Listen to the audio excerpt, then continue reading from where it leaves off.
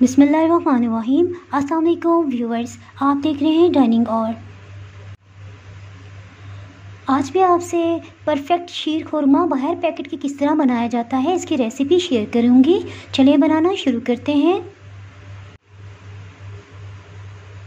इससे पहले अगर आप मेरे चैनल पर नए हैं तो चैनल को सब्सक्राइब कर दीजिएगा और बेल आइकन प्रेस कर दें, ताकि अब मेरी आने वाली हर नई वीडियो की नोटिफिकेशन आपको मिल सके।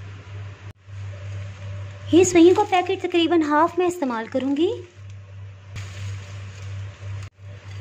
इसको बारीक चूरा बना लेंगे।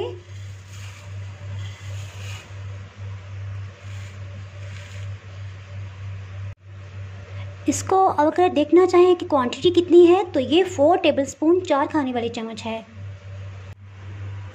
एक पैन में दो टेबलस्पून दो खाने वाले चम्मच कुकिंग ऑयल डालेंगे। इसमें से आप कटिंग हुए ड्राई फ्रूट डाल देंगे। इसको इतनी देर फ्राई करेंगे कि एक अच्छी सी खुशबू उठने लग जाए। और इस प्रोसेस से ही शीर खुरमा में असल फ्लेवर आता है। इसमें से अच्छी सी खुशबू आने लग पड़ी है। इसको डिश आउट कर लेते हैं।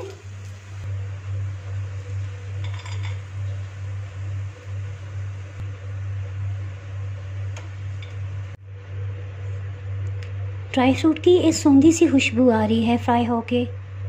ड्राई फ्रूट फ्राई होने के बाद ये तकरीबन एक टेबलस्पून कुकिंग ऑयल रह गया है। इसमें सवैयाँ डालेंगे और बिल्कुल लो हीट पे इसे हल्का सा गोल्डन ब्राउन करेंगे। सवैयाँ अपना कलर तब्दील कर रही हैं। अच्छा सा गोल्डन कलर आ गया है। इनको डिश आउट कर लेंगे। पैन को हल्के से वॉश कर लिया है ताकि कुकिंग ऑयल का कोई भी ड्रॉप इसमें ना रहे।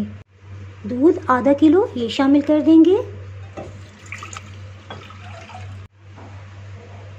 दूध बॉइलिंग पॉइंट पे आ गया है, इसके साथ ही फ्लेम बिल्कुल स्लो कर देंगे। इसमें फ्राई सब ड्राई फ्रूट डाल देंगे। फोर टेबलस्पून चार खाने वाले चम्मच खुश्क दूध को फ्रेश मिल्क में अच्छी से मिक्स कर लिया है। इसमें डाल देंगे, इससे खोए वाला टेक्सचर आएगा। इलायची को छिलके समेत ग्राइंड कर लिया है। ये वन फोर्थ टीस्पून इसमें डाल देंगे।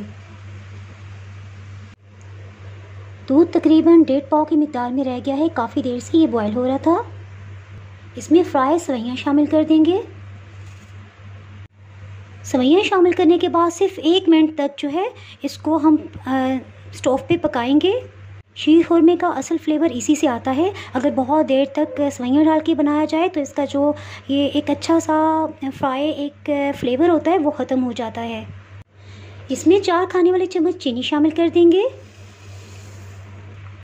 ये आप देख सकते हैं इसका, इस तरह का टेक्सचर है, इसके साथ ही फ्लेम ऑफ़ कर देंगे। जैसे जैसे ये ठंडी होंगी तो इसके साथ ही मज़ीद ये गाढ़ी हो जाएँगी। मज़ेदार सा शीर खुरमा तैयार है। अगर आपने मेरा चैनल अभी तक सब्सक्राइब नहीं किया तो भी सब्सक्राइब करें और बेल आइकन दबाना ना भूलें, ताकि आपको मेरी वीडियोस पर वक्त मिलती रहें। अगर आपको मेरी ये रेसिपी पसंद आई है तो लाइक करें और फ्रेंड्स एंड फैमिली के साथ शेयर करें। आप कमेंट्स में ज़रूर बताइएगा कि आपको ये रेसिपी कैसी लगी। अब इजाज़त चाहती हूँ। अल्लाह हाफिज़।